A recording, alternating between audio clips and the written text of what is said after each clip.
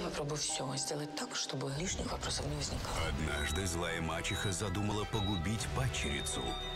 Давление падает. Что это? Ты ошиблась, ты не разбирайся. Меня подставили. Кто спасет бедную девушку? Хочешь меня терпеть всю оставшуюся жизнь?